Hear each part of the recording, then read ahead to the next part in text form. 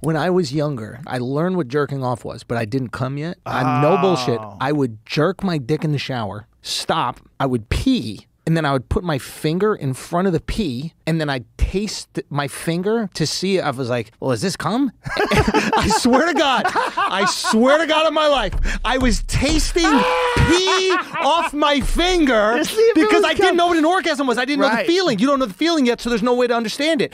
And then I remember the first time I actually did come, and I was like, I don't even need to taste that.